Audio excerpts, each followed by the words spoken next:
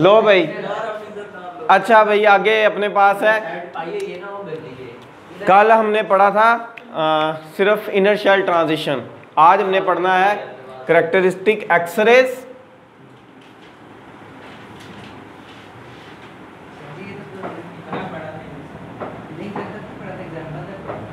Plus आज हमने पढ़ना है। Production of X-rays. अब इनर शेल ट्रांजिशन जो थी ना, उससे हमें ये चीज़ पता लग गई थी कि जो हैवी मेटल है ना मल्टी इलेक्ट्रॉनिक सिस्टम उन पर। अब किसी ने कहा भी हैवी एटम क्यों? हम हल्का एटम नहीं ले सकते, जैसे मल्टी इलेक्ट्रॉनिक में तो अब हाइड्रोजन के बाद हीलियम है या ज़्यादा शेल वाला, उसके बाद हमारे पास उसमें सोडियम है पोटाशियम है तो हम ज़्यादा हैवी क्यों लेंगे? वजह यह है कि वो एक्सरे प्रोडक्शन में हमें पता लग गया कि हम ज़्यादा हैवी एलिमेंट क्यों लेना चाह रहे हैं इधर। ठीक है? दूसरी चीज़। दूसरी चीज़ है कि करेक्टरिस्टिक से आपको ये आइडिया हो गया था कि जो डिफरेंट मटेरियल है, उनका चूँकि जो फार्मूला बन रहा था एनर्जी का, वो क्या फार्मूला बन रहा था? E N is equal to minus E not over N square into Z square तो ये बता रहा था कि भाई हर शाल की एनर्जी क्या हो जाएगी? डिफरेंट मटीरियल्स में डिफरेंट हो जाएगी, क्योंकि सबका अटोमिक नंबर क्या हो जाएगा? डिफरेंट अब हम हैवी एलिमेंट क्यों लेते हैं? वो देखना है।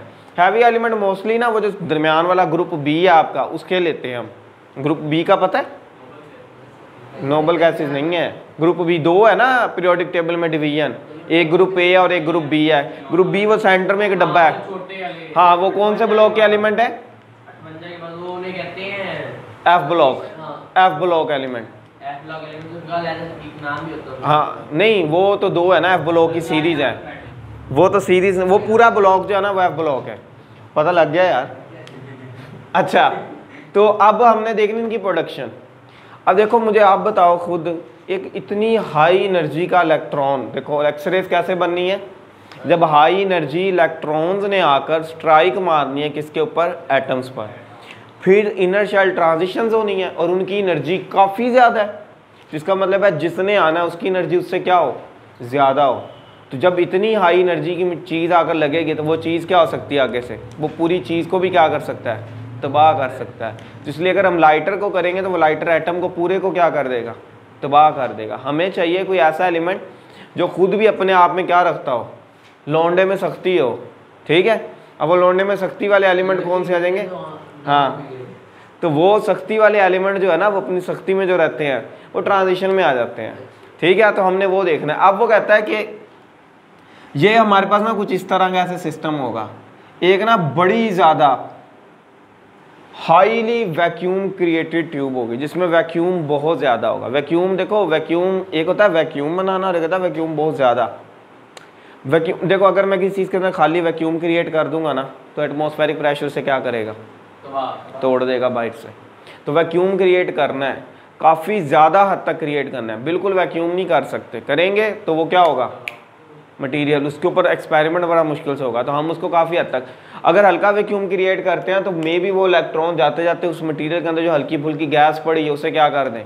उससे पंगेबाजी ले लें, जिसकी वजह से वो गैस के आइटम एक्साइट होकर डी एक्साइट होगा वहाँ पर अंदर क्या बनाना शुरू कर दें?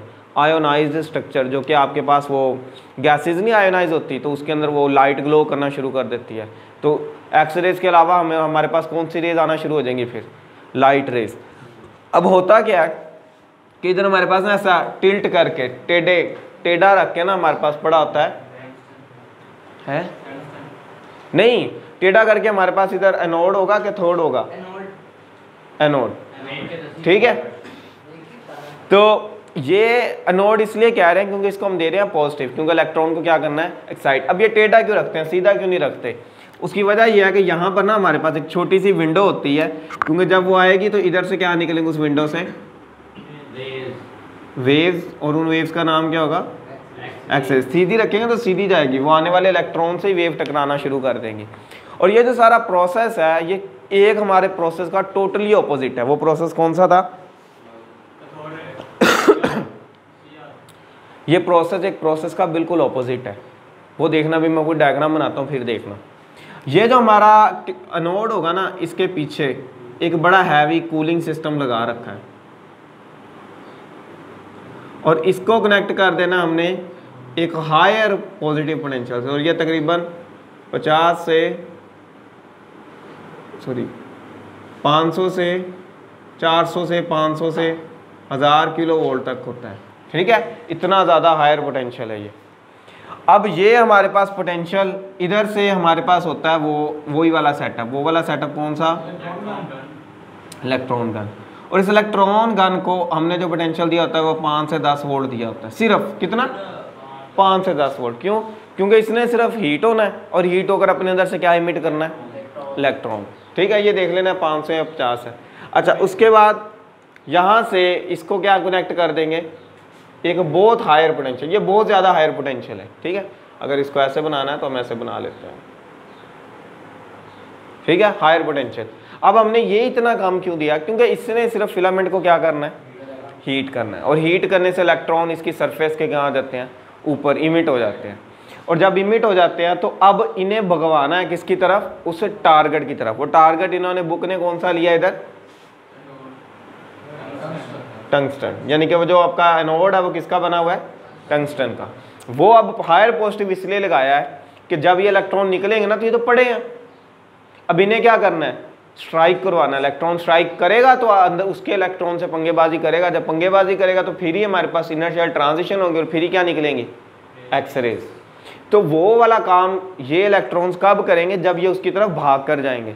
अब भाग कर कब जाएँगे? जब पीछे से कोई धक्का देने वाला हो या आगे से कोई अट्रैक्ट तो फिर ये जो हायर पोटेंशियल हमने लगाया, इसका ये काम हो जाएगा। ठीक है? लेकिन चूँकि आप देखो कि अगर ये जब चल के जाएँगे तो इनकी जो एनर्जी होगी काइनेटिक वो किसके बराबर होगी? इलेक्ट्रॉन वोल्ट वो भी हमने पीछे भी किया था किसमें? फ़ोटो इलेक्ट्रिक इफ़ेक्ट में। कि भाई जितनी भी काइनेटिक है, वो अप्लाइड पोटेंशियल के इक्वल होती है। ये मल्टीप्लाई बाई ये वाली हो। या ऐसे नहीं पता तो ऐसे देख लो। V इज़ इक्वल टू तो W is equal to Q to V तो जो काइनेटिक एनर्जी होती है, वो डिपेंड बराबर होती है उस पर किए गए वर्क पे। तो यहाँ से W देख लो तो वो भी क्यू वी आ रहा है क्यू यहाँ पर कौन है? इलेक्ट्रॉन्स ठीक है, यहाँ से होता है। अब यार देखो, इतना हायर पोटेंशियल है। तो इनकी एनर्जी कितनी होगी इलेक्ट्रॉन वोल्ट में? बहुत ज़्यादा। अब ये इतनी स्पीड से जाके स्ट्राइक करेंगे तो आगे जो आपका अनोड है, वो अगर कोई लाइटर एलिमेंट हुआ, उसको क्या करेगा ये? तबाह कर देगा। या थोड़ी देर के बाद वो क्या कर देगा? मेल्ट हो जाएगा। क्यों? क्योंकि उसकी एनर्जी इतनी ज़्यादा है कि वो जब यकदम चलती हुई चीज़ ब्रेक मारेगी तो क्या होगा? बहुत ज़्यादा हीट वो कुलैन की वजह से हीट होगी। तो वो इस मटेरियल को क्या कर देगा? मेल्ट कर देगा। तो इसलिए हम इधर लाइटर यूज़ नहीं करते। दूसरा हायर हैवी मेटल यूज़ करते हैं हैवी मटेरियल यूज़ करते हैं। दूसरा हैवी मटेरियल के अंदर भी वो यूज़ करते हैं, जिनका मेल्टिंग और बॉइलिंग पॉइंट भी क्या हो? बहुत ज़्यादा हो। ये ना हो कि हल्की सी दो बार इसने चंडे मारी आकर और वो पिघल गया। ठीक है तो वो पिघले शुगले ना तो वो फिर ये रेडिएशन क्या करना शुरू कर दे? इमिट फिर अब हमें पता है कि जो हीट है वो सारी इसके अंदर इकट्ठी हुई जानी है तो कभी ना कभी तो एक टेम्परेचर अचीव हो जाएगा जहाँ पर ये क्या करेगा? मेल्ट कर देगा। तो उसके लिए हमने क्या किया? हमने एक कूलिंग सिस्टम बना लिया। जैसे कि हमारे पास किसमें होता है? हमारी गाड़ियों में। वाटर कूलिंग सिस्टम यहाँ किधर होता है? फ्रिज में। कूलिंग सिस्टम होता है।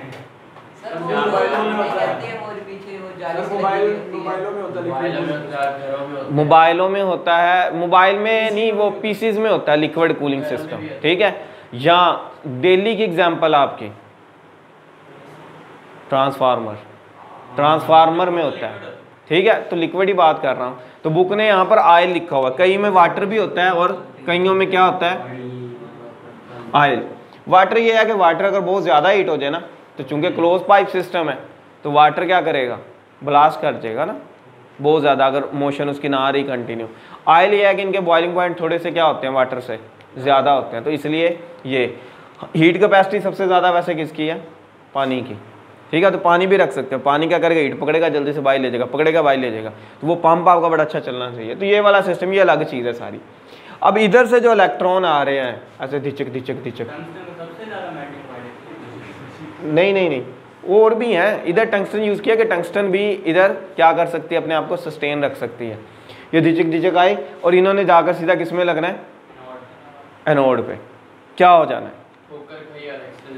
और यहाँ पर क्या होना है? वो इसने इलेक्ट्रॉन को टक्कर मारनी है। वो टक्कर वाला सेटअप वो जो हमारा कल वाला था वो सेटअप ही ये है। ये इलेक्ट्रॉन मज़े से ज़िंदगी गुजार रहा है अपने प्यारे से न्यूक्लियस के पास। कोई अंदर वाला है? दो होंगे, ज़ाहिर सी बात है हैवी एलिमेंट है तो अंदर वाला पूरा, अंदर वाला पूरा क्या होगा इसका? फिल होगा उससे ऊपर वाला भी फिल होगा उससे ऊपर वाला भी फिल होगा। टंगस्टन का देख लेना अटोमिक नंबर हाँ तो ये आएगा, ये इसको एनर्जी दे देगा। तप जाएगा ये। ये तप के इधर निकल आएगा। ठीक है? ये तप के इधर निकल आएगा। एक जो आया वो एक स्कैटर हो जाएगा और एक क्या हो जाएगा? एक्साइट हो जाएगा, यानी कि अपने नए ऑर्बिट में शिफ्ट हो जाएगा। और क्या होगा? उससे पीछे वाला उसमें आएगा। और जब इसमें आएगा तो इस फार्मूले के मुताबिक बहुत हैवी एनर्जी से, एक हैवी एनर्जी में जब शिफ्ट होगा तो एनर्जी का डिफरेंस हैवी आ जाएगा। तो वो उस रेंज की क्या इमिट करेगा? रेज वेव्स और जब हम उनकी रेंज देखेंगे तो वो रेंज किसके स्ट्रक्चर में लाई कर रही होगी? एक्स रेज में। High energy photons these we call X rays ठीक है? अब वो एक्स रेज आ गई हमारे पास। अब हमने देखना है कि भाई इसमें तो ये भी हो सकता है कि ये हमारा पहला शैल का नाम क्या होता है? आ, के दूसरे का? तीसरे का? एम एन तो इसमें यह भी हो सकता है कि वो इलेक्ट्रॉन बेचारा पहुँचे ही ना के तक जो आया था। उसके रास्ते में पहले कौन आ गया? एल। तो एल वाले से बिल्कुल परफेक्ट कुलयन कर दिया उसने। तो एल का निकल गया। के के तो पूरे हैं। तो अब क्या होगा? अब एम में से भी एल में आ सकता है कोई। और एन से भी। तो इस तरह फिर जो एनर्जी का डिफरेंस है, उस लिहाज से क्या हो रही है? अलग अलग किस्म की क्या बन रही है एक्सरेज? क्योंकि इनका एनर्जी का डिफरेंस इनका इनका एनर्जी का डिफरेंस ज़्यादा है। ठीक है? सबसे ज़्यादा नहीं है। के में ऊपर वाले से आने का ज़्यादा है। के में अगर एम से आएगा तो ज़्यादा है। लेकिन के से अगर एल से आएगा तो कम है। लेकिन अगर एल में एम से आएगा तो ज़्यादा है के एल से के के में। मैं ये पूछ रहा हूँ कि जो इलेक्ट्रॉन मैं रेड से बनाता हूँ, जो इलेक्ट्रॉन एल से के में आ रहा है, एक ही शेल ट्रांजिशन हो रही है, एक ही शेल की। कि एल से के में आया। इसका ज़्यादा होगा या जो एम से एल में आएगा इसका ज़्यादा होगा? एल से के होगा क्योंकि वो एन पे डिवीज़न बढ़ती जाएगी। एन के स्क्वेयर पे डिवीज़न बढ़ती जाएगी। तो ये ऐसे आता जाएगा। और अगर अब अगला देख लो दूसरा। अगर कोई इलेक्ट्रॉन एम से के में आता है और एम एन से एल में आता है दो शैल हो गया इसमें भी उसमें भी तो किसकी ज़्यादा एनर्जी होगी? एम से के में। एनर्जी का डिफरेंस एम से के में होगी ना? एम में किस पे डिवीज़न होगी? और थ्री पे। और अगर एन से एल में आता है तो इस पे डिवीज़न किस पे होगी? सोलह पे। और इस पे कितने पे आ जाएगी? चार पे। ठीक है? तो डिवीज़न फ़र्क समझ आ रही है ना बात की? कैसे चार ये देखो अगर मैं इसकी बात करूँ ये वाले की तो इसमें डिवीज़न कितने पे कौन सा शैल है? एक दो तीन चार। इस पे डिवीज़न कितने पे होगी? सोलह पे। और इस पे कितने पे होगी? चार पे। ठीक है? चार पे। और अगर मैं इसकी बात दो शेल हुए ना? एक और दो। एक क्रॉस करके दूसरे में आया। अगर इसकी बात करूँ तो डिवीज़न कितने पे होनी है? नौ। पे। और इस पे? तो फिर इनका एनर्जी डिफरेंस ज़्यादा होगा या इनका? एन हाँ अलग अलग होगी ना। एनर्जी डिफरेंस वो भी देखते हैं। अभी मैं आपको दिखाता हूँ। तो इस तरह मतलब जो एक्सरेज बनेंगी ये हर किसी की कैसी बनेंगी? डिफरेंट इनको नाम क्या देंगे हम? डिस्क्रीट या करेक्टरिस्टिक एक्सरेज समझ आई? और ये हर मटेरियल के लिए सेम हो जाएँगे डिफरेंट हो जाएँगे। डिफरेंट हो जाएँगे। क्योंकि जेड अब फिर किस पे क्या बदलना शुरू हो जाएगा? जेड तो इसका मतलब है एनर्जी का जो डिफरेंस है वो फिर किस पे डिपेंड कर रहा होगा? या इमिटेड या तो फिर शेल पे होगा या फिर उस पे। हाँ। और अगर हम एक ही मिट्टी सारा कुछ सेम ले लें दोनों के शेल सेम ले लें मतलब एल से के और एल से के ले लें लेकिन एक टंगस्टन है और एक कोई और है? फिर किस पे डिपेंड करेगी? एटॉमिक मैस पे। तो जो करेक्टर बता रहा होगा उस मटेरियल का। कैसे? हमें पता है जो एनर्जी इमिट होनी है वो ई e है? जी। कौन से पे डिपेंड करेगी? लेट सपोज़ एल से कहाँ पे आ रही है? के में। और ये किसके ये किसके बराबर होती है?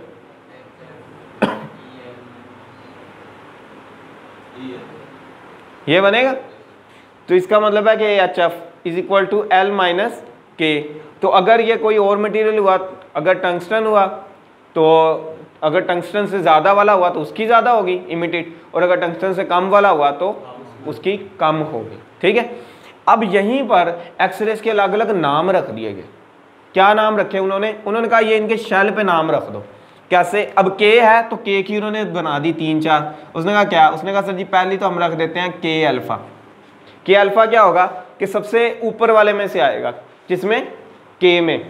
के से ऊपर वाला कौन सा है? एल यानी कि ट्रांजिशन कहाँ से होगी? एल से के में। उससे नीचे वाला के बीटा के बीटा क्या होगा? एम से के में उससे ऊपर वाला। एम से के में। उससे नीचे आगे क्या आ जाएगा? के गैमा क्या बनेगा? एन से तो इनकी एनर्जी ऊपर ऊपर से नीचे क्या होती जा रही है? बढ़ती। जा रही है। एनर्जी और अगर मैं एल की बात करूँ के तक तो पहुँच ही नहीं रहा। तो मैं के अल्फ़ा किसे कहूँ? एल अल्फ़ा किसे कहूँगा? एम से एल इसका ये देखो ना जिस जिस सेल से आएगी उस उसकी एनर्जी सेम होगी डिफरेंट होगी। डिफरेंट है ना? तो अगर के है तो अगर के में एल से आएगा तो वो पहला आ जाएगा के अल्फ़ा ठीक है? और अगर के में दूसरे से आएगा के में पहला तो खुद के या दूसरा कौन एल और तीसरा यानी कि एम है। तो एम से आएगा के में तो वो कौन सा आ जाएगा? तो जैसे जैसे नीचे आएगा एनर्जी का डिफरेंस बढ़ता जा रहा है तो एनर्जी इसका मतलब है सबसे ज़्यादा गैमा की होगी। अगर गैमा पॉसिबल हो, जाता है तो। एल अल्फ़ा क्या होगा? ये इससे बिल्कुल ऊपर वाले से आना। ऊपर वाला कौन है? एम से एल और एल ये वाला कौन सा होगा? हाँ ये बीटा क्या होगा? एन से एल ठीक है इधर भी एनर्जी नीचे को क्या आती जाएगी? बढ़ती जाएगी। सबसे ज़्यादा एनर्जी किसकी होगी? कौन से गैमा की? के गैमा की। सबसे ज़्यादा इसकी होनी क्योंकि इसकी इधर से ट्रांजिशन होकर आनी है। तो इस सबसे ज़्यादा एनर्जी फिर किसकी होगी? इसकी। तो इसी तरह अगर एनर्जी का इधर डिफरेंस लिखूँ मैं इधर एनर्जी का डिफरेंस तो इधर अगर होगा अल्फ़ा वाला तो फिर मैं इसी फार्मूले के अंदर सिर्फ़ एक चीज़ करूँगा। के अल्फ़ा ठीक है? और अगर मैं लिखूँगा के बीटा तो फिर मैं ट्रांजिशन कौन सी डाल दूँगा? ठीक है समझ आ गया? हो जाएगा यहाँ तक। चलो, अब हम आगे करते हैं कंटिन्यूस एक्सरेज दो टाइप सी एक हमने पढ़ ली। कौन सी? करेक्टरिस्टिक अब हम कौन सी पढ़ेंगे? कंटिन्यूस कंटिन्यूस बड़ा आसान है छोटा सा है। वो अभी समझ लो पाँच मिनट लगेंगे उसको।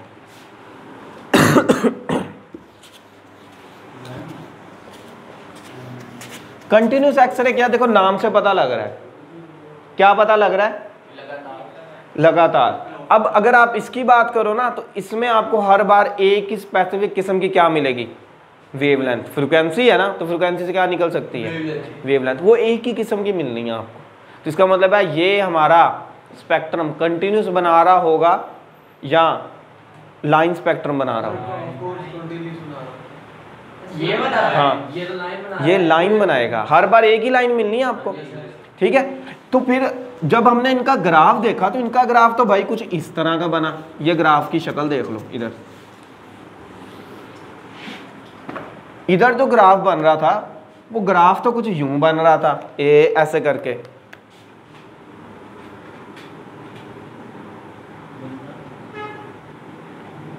यूँ करके। ये क्या बन गया?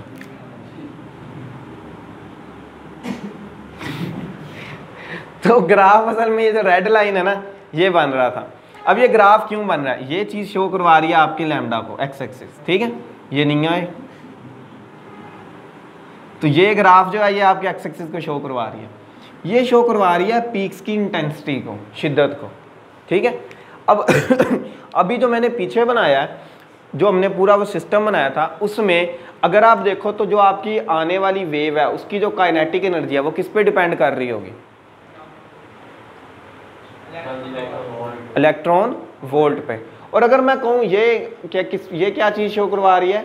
ये एनर्जी किसकी? इलेक्ट्रॉन की। और जितनी इलेक्ट्रॉन की एनर्जी होगी, उतनी किस्म की हमें क्या मिलनी है आगे से? उसी तरह की। क्या मिलनी है? एक्सरेज इसका मतलब है एक्स की एनर्जी डिपेंड कर रही है किस पे? सिर्फ़ और सिर्फ़ वोल्ट पे। ई e तो वैसे कॉन्स्टेंट है ना। किस पे डिपेंड कर रही है? वोल्ट पे। और अगर मैं इधर कहूँ शिद्दत कि भाई कितनी शिद्दत की एक्सरेज निकलेंगी? इतनी शिद्दत से तुम्हें चाहने की कोशिश की है। उस मिलाने की? मिलाने की नहीं की। हटाने की की थी ऐसा कुछ था। तो इंटेंसिटी किस पे डिपेंड करेगी? इंटेंसिटी शिद्दत डिपेंड करती है नंबर ऑफ़ फोटॉन्स पे। किसमें पड़ा? फ़ोटो इलेक्ट्रिक इफ़ेक्ट में पड़ा। कि भाई, कितने ज़्यादा इलेक्ट्रॉन्स आएँगे? कितने ज़्यादा हमारे पास फोटोन आएँगे? वो शिद्दत होगी ना उनकी। अब वो शिद्दत क्या शो करवा रही है? वो शिद्दत है इंटेंसिटी अब ये किस पे डिपेंड करेगी? कि कितने ज़्यादा इलेक्ट्रॉन जाकर आगे क्या इमिट करवाते हैं? फोटोन्स एक्सरेज तो इसका मतलब है इंटेंसिटी डिपेंड करेगी किसके वोल्ट के पोटेंशियल के डिफरेंस पर।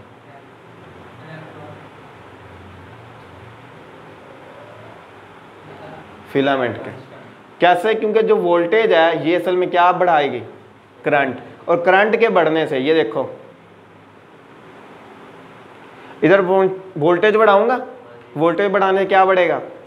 करंट। करंट करंट बढ़ेगा तो इधर इमिशन ऑफ़ इलेक्ट्रॉन्स क्या हो जाएगा? और जब ज़्यादा इलेक्ट्रॉन जाकर टक्कर मारेंगे तो ज़्यादा क्या आएगा? एक्सरेज आएँगी। कम मारेंगे तो कम आएगी। समझ आई बात की? अब हमने ये देखना था कि ये जो ऐसे ये बन रहा है हमारे पास तो ये तो समझ आ रही है हमें ये वाली लाइन।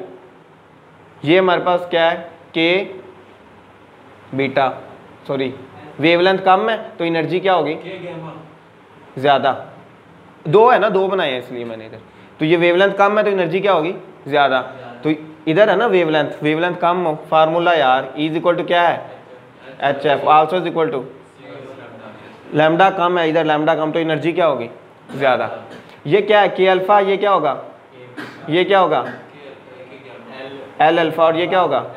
एल बीटा ठीक है? अच्छा ये तो हमें समझ आ रहा था कि ये तो हमें मिलनी मिलनी है। ये वाले ये वाले जो है, डंडे। ये वाले, क्योंकि ये तो हो गए डिस्क्रीट लेकिन रेंज कहाँ से शुरू हो रही है? इस एक स्पेसिफिक जगह से शुरू हो रही है? और एक स्पेसिफिक जगह पर। तो ये जो लाइन है, ये ये वाली जो लाइन है, आप इन्हें इग्नोर करो। आप समझो ये है ही नहीं ऊपर वाले सींग से। तो आपको ये पूरी लग रही है? तो ये फिर कैसी है? ये रुक रुक के चल रही है लगातार चलती जा रही है? तो इनकी वजह से स्पेक्ट्रम कैसा मिलेगा? कंटिन्यूस लेकिन हमें कौन सा मिल रहा है? कंटिन्यूस भी मिल रहा है प्लस ये सिंगों वाला लाइन स्पेक्ट्रम भी मिल रहा है। तो लाइन की तो समझ आ गई। करेक्टरिस्टिक की वजह से या हर शाल की ट्रांजिशन होगी तो एक स्पेसिफिक वेवलेंथ की क्या मिले? लेकिन हमने समझना क्या था कि ये वाला जो है, ये क्यों बन रहा है? तो असल में हमने, अगर आपको याद हो तो कॉम्पटन इफ़ेक्ट में एक स्लिट रखी थी तो मैंने कहा था एक्सरेज की भी डिफरेंट टाइप्स होती हैं जो कि आगे जाके पढ़ेंगे हम बीसवें चैप्टर में। तो वो डिफरेंट क्या है कि हमें एक स्पेसिफिक किस्म की चाहिए थी तो हम उसके आगे वो सिस्टम बना देते हैं कि वो एक ही किस्म के अलाउ करते हैं। ये जो बाकी हैं, ये हैं कंटिन्यूस अब ये कंटिन्यूस कैसे बन रही हैं? अब आ जाओ चैप्टर नंबर सिक्सटीन में मैक्सवेल की थ्योरी पे।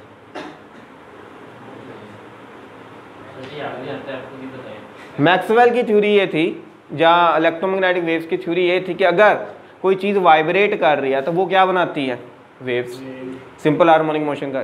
और इसी तरह अगर चार्ज पार्टिकल वाइब्रेशंस करता है तो वो भी बनाता है वेव्स लेकिन उन वेव्स का नाम क्या है? इलेक्ट्रो मैग्नेटिक और हमें पता है कि सिंपल हार्मोनिक मोशन या वाइब्रेटिंग पार्टिकल जो भी होता है उसकी एक्सलेशन होती है नहीं होती? होती है। उसकी एक्सलेशन होती है क्योंकि इलेक्ट्रॉन नीचे से ऊपर गया? ऊपर से? तो यार डायरेक्शन बदल रही है? तो डायरेक्शन के बदलने से क्या होगा? एक्सलेशन वैसे भी स्पीड भी बदलनी है क्योंकि कोई भी चीज़ जब रास्ता बदलते तो स्पीड क्या होती है? ज़ीरो इसका मतलब उसमें क्या पैदा होनी है? एक्सलेशन अब एक्सलेशन पॉजिटिव भी हो सकती है और नेगेटिव भी। जिसे पॉजिटिव सेंस में हम एक्सलेशन कहते हैं और नेगेटिव सेंस में डेक्सलेशन कहते हैं रिटार्डेशन कहते हैं। तो दोनों, इसका मतलब है कि हमें एक्सलेशन चाहे पॉजिटिव हो, चाहे नेगेटिव हो, हर हाल में क्या मिलनी है? इलेक्ट्रोमैग्नेटिक वेव्स बनी अब ये पड़ा आपके पास एक बहुत बड़ा let suppose nucleus heavy metal का। और इसके गिर्द उसके क्या है? शेल और ये उनके इलेक्ट्रॉन्स हैं। ये बड़े हैं जी, मस्त। ठीक है? ज़्यादा तो नहीं बन गए, पूरे ही हैं। अब यहाँ से आया हमारा बशिंदा इलेक्ट्रॉन जो कि इधर से टंगस्टन से निकल रहा है और एक्सलरेट होता जा रहा है किसकी तरफ़? एनोड की तरफ़। एनोड क्या है? टारगेट मटेरियल का। तो ये क्या होगा? ये जैसे और आगे देखेगा, एक न्यूक्लियस है। तो न्यूक्लियस पॉजिटिव चार्ज है। हैवी मटेरियल का बना है तो उसके अंदर प्रोटॉन्स की तादाद भी क्या होगी? तो वो इसको क्या करेगा? अट्रैक्ट करेगा। तो जब ये अट्रैक्ट करेगा तो इसकी स्पीड पर क्या करेगा? असरअंदाज होगा, जिसकी वजह से इसकी स्पीड क्या होनी हो जाएगी? कम। स्पीड कम होने का मतलब है वहाँ पर क्या होनी, पैदा होनी शुरू हो जाएगी। और अगर एक चार्ज पार्टिकल एक्सेलरेशन शो करवाए, चाहे रिटार्डेशन नेगेटिव में या पॉजिटिव में तो वो भी क्या बनाता है? इलेक्ट्रोमैग्नेटिक वेव्स वो इलेक्ट्रोमैग्नेटिक वेव्स यहाँ से शुरू होंगी। हमने कहा, फिर ये क्या चीज़ है? उसने कहा, ये डिफरेंट मटेरियल्स पे नहीं डिपेंड करेगी, ये डिपेंड करेगी आपके आने वाले इलेक्ट्रॉन की एनर्जी पे हमने कहा कैसे? उसने कहा फार्मूला सर आपने पढ़ा है is equal to H F पढ़ा है? तो वो कहता है, ये इनकी, आपकी क्या है? जो निकलने वाला फटोन है, ये उसकी क्या है? वेवलेंथ तो अगर मैं इसे वेवलेंथ के सेंस में लिखूं तो लिखूँगा एच एफ़ एफ़ अगर मैक्सिमम हो तो लैम्डा क्या होगा? मिनिमम यही बनेगा?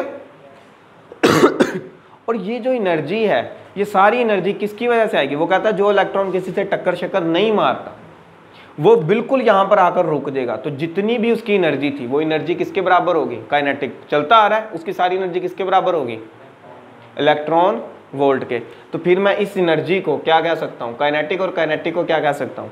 ई e इंटू क्या बनेगा? एच सी है ये ओवर लैम्डा मिनिमम तो वो कहता है, वो जो मिनिमम लैमडा की वेवलेंथ निकलनी है, वो किस पे डिपेंड करनी है? आपके अप्लाइड पोटेंशियल पर, जो दोनों अनोड और कैथोड के दरमियान में लगा होगा। तो जिसकी वजह से ये क्या होगा? यहाँ से रुक जाएगा। उसने कहा, सर, ये तो चलो रुक गया। तो फिर इधर एक सीधी लाइन बननी चाहिए थी। ये कंटिन्यूस क्यों चल रहा है? उसने कहा, ये तो सर, वो इलेक्ट्रॉन है जो पूरा रुक गया। किसकी वजह से? न्यूक्लियस की वजह से। और इस इफ़ेक्ट को कहते हैं हम ब्रेकिंग रेडिएशन ब्रेकल आ गया ना? किसकी? इलेक्ट्रॉन की ब्रेकों स्लिपा जिन्हें पर स्लिपा नहीं कहते स्लिपा की वजह तो जो रेडिएशंस बनेगी, वो ये है। और इसका एक साइंटिफिक नेम है। वो फ़िल्म नहीं आई, ब्रह्मास्त्रा? ये उससे मिलता जुलता नाम है। ब्रैमस्ट्रा लंग ठीक है? ये उससे मिलता जुलता नाम है। ब्रैमस्ट्रा लंग रेडिएशन ये इफ़ेक्ट होता है। ये जो रेडिएशन बनेंगी, ये इलेक्ट्रॉन की रिटार्डेशन से बन रही होंगी। वो कहता है, सर यहाँ पे भी तो एक डिस्क्रीट लाइन हम ऐसे बना लेते हैं कि भाई ये एक बन गई। उसने कहा, सर, ये एक नहीं बननी। उसकी वजह ये वो कहता है, ये कम से कम कितनी बननी है? कम से कम लैमडा कितना होगा? जितनी मैक्सिमम क्या होगी? वोल्टेज तो कम से कम वो आ गई। उसने कहा, सर, ये वो इलेक्ट्रॉन है जो यकदम जाकर न्यूक्लियस से पंगा लेने से पहले या पंगा लेते ही क्या कर गया? रुक गया। लेकिन कुछ ऐसे भी तो इलेक्ट्रॉन्स इधर से आ रहे होंगे जो न्यूक्लियस तक पहुँचेंगे ही नहीं, बल्कि क्या करेंगे? ये इलेक्ट्रॉन है, ये इलेक्ट्रॉन है, दोनों चाचे के बेटे हैं, दोनों क्या करेंगे? एक दूसरे को रिपेल कर देंगे। जब ये रिपेल करेंगे तो मे बी ये तो न्यूक्लियस छोड़ नहीं सकता था, क्योंकि टक्कर तो हुई नहीं। टक्कर का मतलब है टक्कर मार के उसको निकालना, टक्कर तो मारी नहीं, उसने पहले क्या कर दिया? तो अब बताओ, जो इलेक्ट्रॉन आ रहा था, उसकी स्पीड कम ज़्यादा हुई होगी? कम ज़्यादा होने से क्या बनी? और accelerated charge particle always emit electromagnetic तो कुछ यहाँ से निकली। अभी इसकी एनर्जी सारी डेड नहीं हुई। ये आया इधर। इधर फिर क्या मिल गया? इधर फिर इसने क्या इमिट कर दी? रेडिएशन इसका मतलब है ये जब तक कहाँ पे नहीं चला जाता अपनी वेलोसिटी को? ज़ीरो नहीं कर लेता। ये क्या इमिट करता रहेगा? हल्का हल्का मट्ठा मट्ठा होते हर वक्त क्या इमिट करेगा? रेडिएशन हर वक्त का मतलब है कि हर टाइम ये एक कर रहा है। तो इसके वजह से कितने इलेक्ट्रॉन्स होंगे? हज़ारों, और आगे स्लो इफ़ेक्ट कितनों ने करना है? लाखों ने, जिसकी वजह से इधर हर पॉइंट पर क्या निकल रही होंगी? रेडिएशन जिनकी कम से कम वेवलेंथ किस पे डिपेंड करेगी? उस इलेक्ट्रॉन पर जो आते ही न्यूक्लियस से क्या करेगा? दस्ती रुक देगा। जब वो दस्ती रुकेगा तो सारी की सारी जो मिनिमम वेवलेंथ होगी, वो डिपेंड कर रही होगी अप्लाइड पोटेंशियल पर। और जो मैक्सिमम वेवलेंथ है, वो किस पे डिपेंड कर रही होगी? वो इलेक्ट्रॉन्स जो धक्के मक्के खा, खू के खा, खू के एंड में जो उसकी हल्की सी एनर्जी बची है, उस पर जो मिनिमम मैक्सिमम वेवलेंथ की जो रेज निकलेगी, ये उस पर। इसका मतलब है जो सबसे जल्दी रुकेगा, उसकी वेवलेंथ कम होगी फ्रिक्वेंसी ज़्यादा होगी। जो उसके बाद होगा, उसकी थोड़ी सी, जो उसके बाद होगा, जो उसके बाद होगा तो इस तरह क्या हो गए डिफरेंट रेंज की क्या मिलेंगे आपको? मिनिमम लैंडा लैमडा से मैक्सिमम लैमडा के दरमियान की क्या मिलेंगी? रेडिएशन और ये वाली लाइन किसको शो करवा रही है? इंटेंसिटी को, शिद्दत को। तो शिद्दत किस पे डिपेंड करेगी? तादाद पर। अगर ज़्यादा इलेक्ट्रॉन्स इस लेवल पर होंगे तो यहाँ शिद्दत ज़्यादा होगी। अगर ज़्यादा इलेक्ट्रॉन इस लेवल पर होंगे तो यहाँ शिद्दत ज़्यादा होगी और ज़्यादा इधर होंगे तो ज़्यादा। इसलिए हमें जो ग्राफ मिलेगा, वो दोनों का मिक्स मिलेगा। करेक्टरिस्टिक का भी और कंटिन्यूस का भी। हो जाएगा? और पढ़े? चलो यार।